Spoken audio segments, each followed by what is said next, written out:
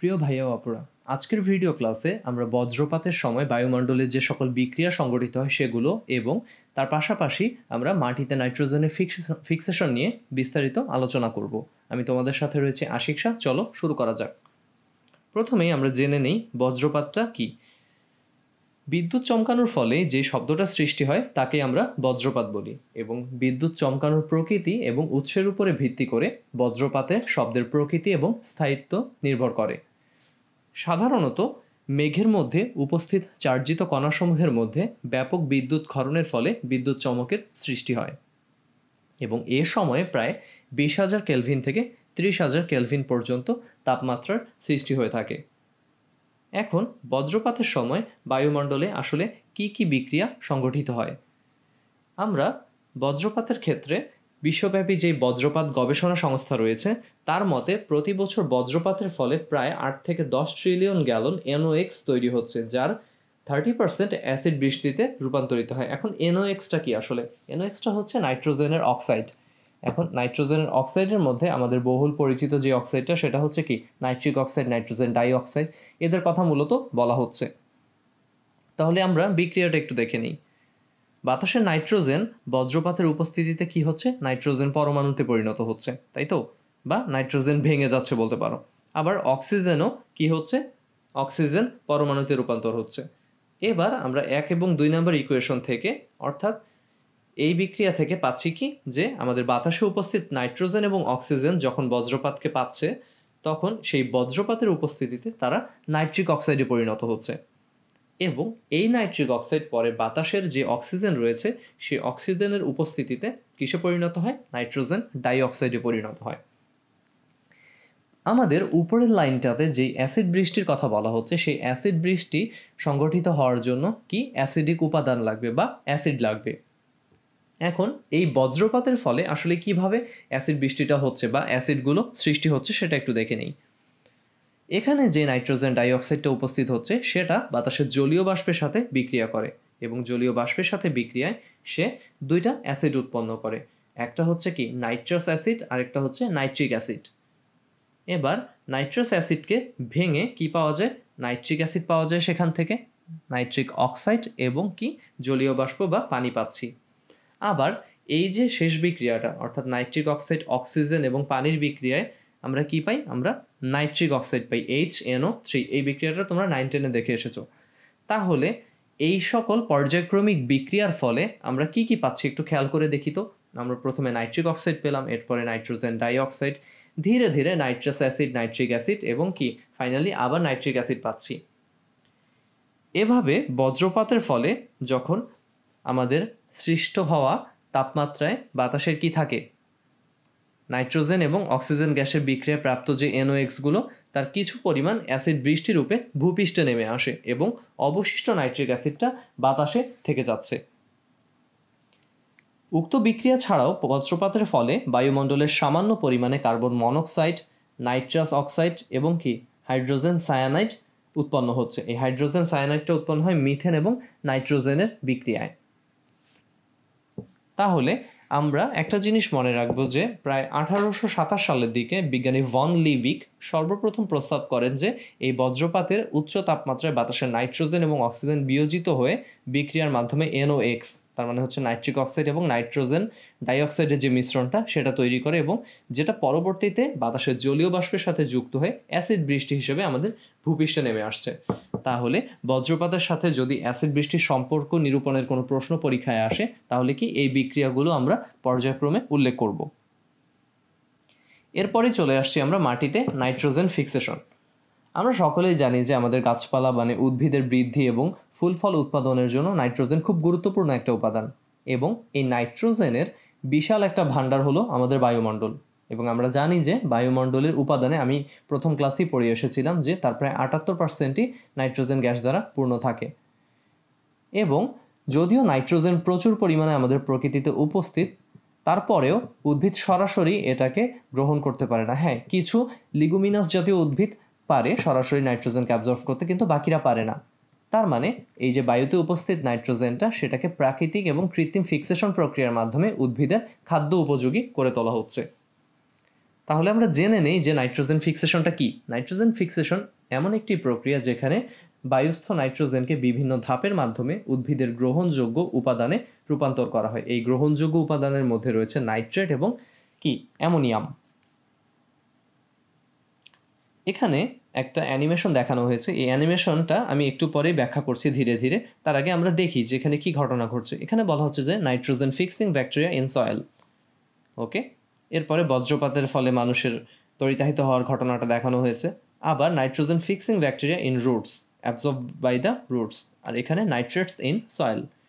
এরপরে আমরা গবাদি পশু থেকে যেসব ফেসেস এবং ইউরিয়া পাচ্ছি, সেগুলো কি হচ্ছে?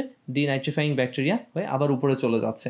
তাহলে এই জিনিসটাই আমি এখন ধীরে ধীরে ব্যাখ্যা করব, সেটা একটু দেখে নিই সামনে, যে প্রাকৃতিকভাবে কীভাবে নাইট্রোজেন ফিক্সেশনটা হচ্ছে।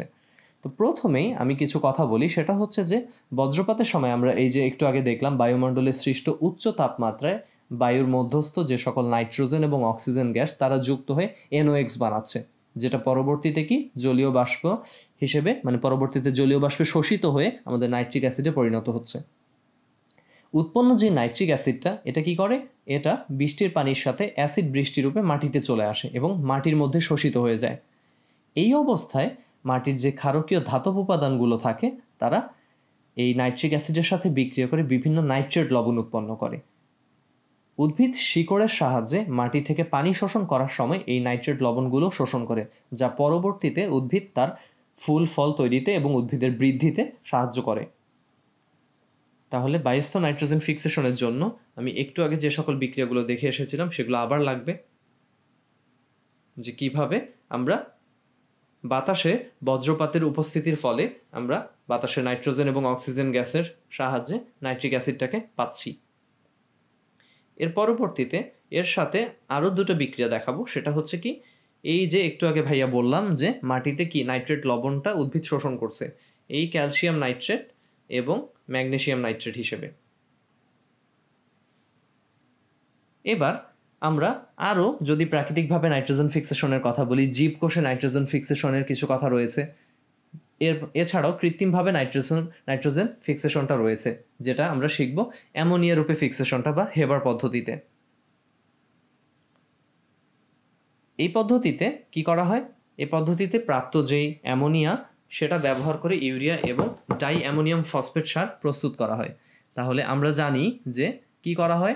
তরল বায়ুতে আমরা যখন পাতন প্রক্রিয়ার মাধ্যমে কি করি, প্রাপ্ত বিশুদ্ধ নাইট্রোজেনটাকে স্টিম এবং আয়রনের বিক্রিয়ায় প্রাপ্ত হাইড্রোজেনের সাথে ওয়ান ইস টু থ্রি অনুপাতে মিশাই। মিশিয়ে যখন দুশো এটিএম চাপ দিই এবং লোহার গুঁড়া প্রভাবক আমরা ব্যবহার করি, তখন কি সাড়ে চারশো থেকে সাড়ে পাঁচশো ডিগ্রি সেলসিয়াস তাপমাত্রায় অ্যামোনিয়া উৎপন্ন করা হয়। হেবারবস পদ্ধতিতে এই অ্যামোনিয়া উৎপাদনের বিক্রিয়া আমরা কম বেশি সবাই জানি। এভাবে উৎপাদিত যেই অ্যামোনিয়াটা, সেই অ্যামোনিয়াটা ব্যবহার করে আমরা কি করি? ইউরিয়া এবং ডাইঅ্যামোনিয়াম ফসফেট সংক্ষেপে ডিএপি সার প্রস্তুত করা হয়। তাহলে পরের ধাপে দেখতে পাচ্ছি যে আমরা অ্যামোনিয়ার সাথে কার্বন ডাইঅক্সাইডের বিক্রিয়ায় আমরা ইউরিয়া পাচ্ছি এবং পানি পাচ্ছি। আবার অ্যামোনিয়ার সাথে যখন ফসফরিক অ্যাসিডের বিক্রিয়া ঘটাচ্ছি, সেখানে কি পাচ্ছি আমরা? ডাই অ্যামোনিয়াম ফসফেট বা ডিএপি সার। এছাড়াও হেবার পদ্ধতিতে উৎপাদিত এই যে অ্যামোনিয়া, সেটা ব্যবহার করে অসল্ট পদ্ধতিতে নাইট্রিক অ্যাসিড উৎপন্ন করা হয় এবং প্রস্তুতকৃত নাইট্রিক অ্যাসিড থেকে উদ্ভিদের গ্রহণ উপযোগী যে বিভিন্ন প্রকার সার, যেমন ক্যালসিয়াম নাইট্রেট বা ক্যালসিয়াম নাইট্রাইট, অ্যামোনিয়াম নাইট্রেট, এসব তৈরি করা হয়। এবার আমরা চলে আসব পরবর্তী টপিকটাতে। পরবর্তী টপিকটার নাম হচ্ছে শিল্পের গ্যাসীয় বর্জ্য ও বায়ু দূষণ। শিল্পের গ্যাসীয় বর্জ্যের ক্ষেত্রে অনেকটা প্রকারভেদ আমরা পাই। এবং এই শিল্পের যে সকল গ্যাসীয় বর্জ্য রয়েছে, সেগুলো কিন্তু আমাদের শরীরের জন্য খুবই বেশি পরিমাণে ক্ষতিকর। এবং শিল্প কারখানায় যে সকল উৎপাদিত পণ্য রয়েছে এবং সেসব পণ্য উৎপাদনে কাঁচামালের প্রকৃতি, তারপরে ব্যবহৃত যে সকল যন্ত্রপাতি, তাদের ইফিসিয়েন্সি জ্বালানির ব্যবহার ইত্যাদির উপরে নির্ভর করে যে ওই যা, ওই শিল্প কলকারখানাটাতে কীরকম পরিমাণে বর্জ্য নিঃসৃত হবে এবং বর্জ্যগুলো কোন ধরনের হবে।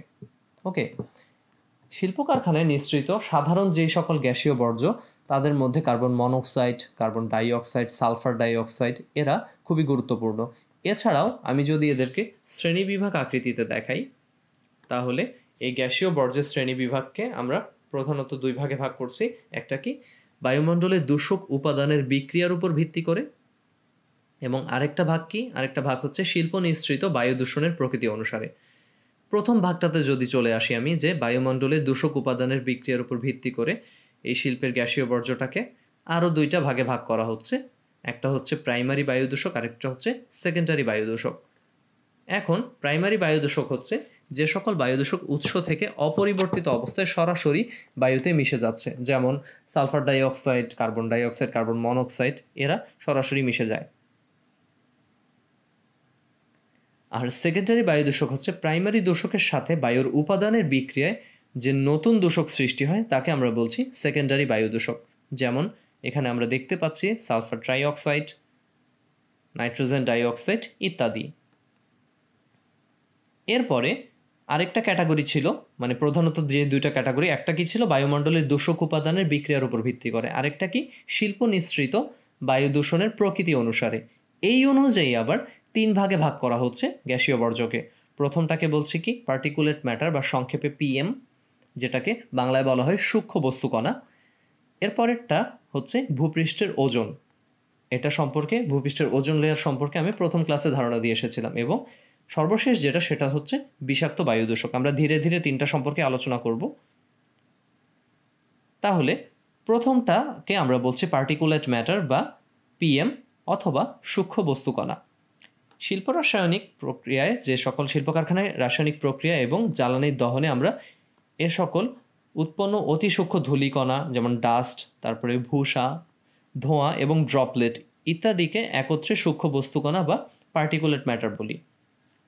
এবং এই পার্টিকুলেট ম্যাটার শিল্প কলকারখানায় নিঃসৃত যে সকল সালফার ডাইঅক্সাইড বা এনওএক্স থাকে, তারা সূর্যের আলোর উপস্থিতিতে জলীয় বাষ্পের সাথে মিশে পার্টিকুলেট ম্যাটারটাকে তৈরি করে এবং সবচেয়ে ক্ষতিকর বায়ু দূষকের তালিকায় কিন্তু এই পিএম বা পার্টিকুলেট ম্যাটার এবং তাদের অতি সূক্ষ্ম যে আকৃতিটা, তাদের আকৃতিটা হচ্ছে টু পয়েন্ট ফাইভ থেকে টেন মাইক্রোমিটার পর্যন্ত হতে পারে। এরা ফুসফুসের একেবারে গভীরে পৌঁছে যায় এবং অ্যাজমা বা ক্রনিক ব্রঙ্কাইটিস সহ নানাবিধ যে সকল ফুসফুসের রোগ রয়েছে সেগুলো সৃষ্টি করে।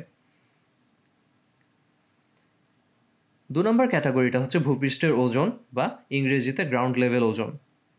এখানে পৃথিবীর শীর্ষ ছয়টা বায়ুদূষকের তালিকায় ভূপৃষ্ঠের ওজনটা হচ্ছে অন্যতম।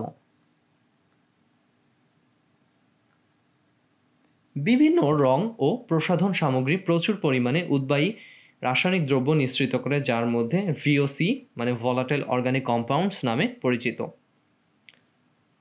এছাড়াও কি বলা হচ্ছে, শিল্পে জ্বালানি দহনে এনওএক্সের সাথে ভিওসিএস তার মানে ভলাটাইল অর্গানিক কম্পাউন্ডসের মিশ্রণে ওজন গ্যাসের সৃষ্টি হয়, যা ভূপৃষ্ঠের দুই থেকে তিন কিলোমিটার বায়ুমণ্ডলে পাওয়া যায় বলে একে ভূপৃষ্ঠের ওজন বলে। এবং এটা বায়ুমণ্ডলে স্মোক সৃষ্টির মাধ্যমে বন এবং কৃষি উৎপাদন ব্যাহত করে। স্মোকটা কি আসলে? স্মোকটা হচ্ছে স্মোক এবং ফগের মিশ্রণ। তার মানে আমরা যখন ইটের ভাটা আমরা মোটামুটি সবাই দেখেছি, এখন ইটের ভাটায় যেই সরু আকৃতির নলটা থাকে তার ঠিক উপরে তাকালে আমরা লক্ষ্য করব সেখানে কি? সেখানে ধোঁয়াটা যাচ্ছে, যেটা হচ্ছে কি? Direct smoke. এর পরবর্তীতে সেটা কি করে? সেটা ধীরে ধীরে কুয়াশার মতন একটা ঘন আবরণ সৃষ্টি করছে, যেটাকে আমরা কি বলছি? স্মোক বলছি। ঠিক আছে? এছাড়াও স্মোকের আরও কিছু উদাহরণ রয়েছে, তো সেগুলো নিয়ে আমরা পরে আলোচনা করব। আমরা বিষাক্ত বায়ুদূষক টপিকটাতে চলে যাচ্ছি।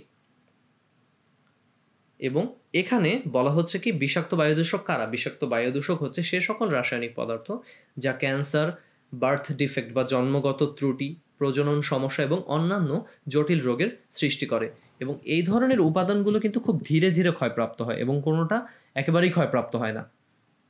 এবং সাধারণত ড্রাই ক্লিনিক কারখানা, তারপরে ড্রাই ক্লিনিক নয়, এখানে একটু ভুল এসেছে। ড্রাই ক্লিনিং যে কারখানাটা, অনস্বর হবে। ব্যাটারি পেইন্ট ও রাসায়নিক শিল্পক্ষেত্র থেকে এই ধরনের উপাদানটা নিঃসৃত হয়। ঠিক আছে? তাহলে আজকের টপিকটাতে আমরা মূলত আলোচনা করলাম দুটা গুরুত্বপূর্ণ টপিক নিয়ে। একটা হচ্ছে কি, বজ্রপাতের ফলে যে সকল বিক্রিয়াগুলো সংগঠিত হচ্ছে সেগুলো নিয়ে এবং এরপরে আমরা নাইট্রোজেন ফিক্সেশনের প্রাকৃতিক এবং কৃত্রিম উদাহরণ দেখলাম যে সেখানে বিক্রিয়াগুলো কী কীভাবে সংগঠিত হয় এবং নাইট্রোজেন ফিক্সেশন মূলত কী। এবং আমরা আরেকটা টপিক শিখলাম, সেটা হচ্ছে কি, শিল্প নিঃসৃত যে সকল বায়ু দূষণ, বায়ু দূষক রয়েছে, আবার বায়ুমণ্ডলের দূষক উপাদানের উপর ভিত্তি করেও কিছু বায়ু দূষক রয়েছে প্রাইমারি সেকেন্ডারি আবার এখানে পড়লাম পিএম গ্রাউন্ড লেভেল ওজন অথবা কি, বিষাক্ত বায়ু দূষক। এই বায়ু দূষকগুলো সম্পর্কে আমরা ধারণা পেলাম।